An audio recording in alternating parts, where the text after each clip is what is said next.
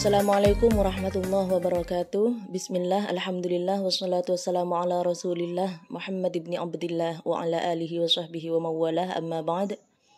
Nama saya Izana Inaria dari grup LDNU Sumeneb Perwakilan dari peragaan.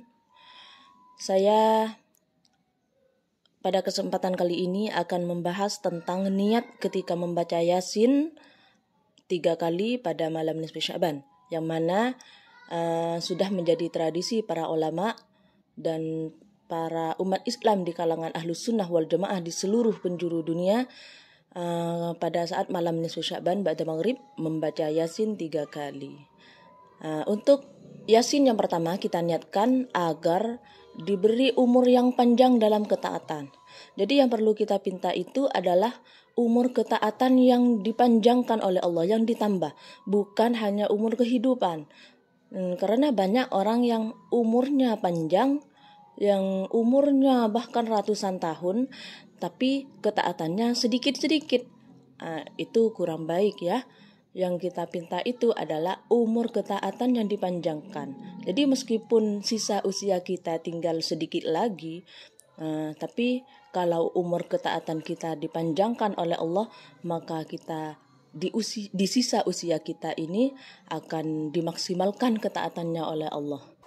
Untuk yasin yang kedua, kita niatkan agar diberi hadiah rezeki yang halal, yang barokah, dan yang manfaat. Baik rezeki zahir maupun rezeki batin.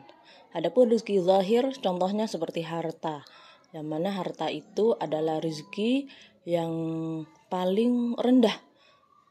Karena rezeki harta ini Allah berikan kepada siapa pun dari hamba-hambanya, termasuk musuhnya. Seperti Fir'aun dan lain-lain itu masih diberi rezeki sama Allah, rezeki yang berupa harta.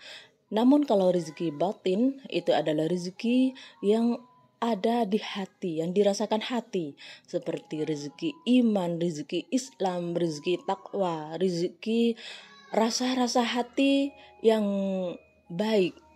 Itu adalah rezeki batin, yang mana uh, rezeki batin ini hanya Allah berikan kepada hamba-hambanya yang terpilih. Maka itu perlu kita pinta pada nanti pada malam-malam nisfu Sya'ban di Yasin yang kedua.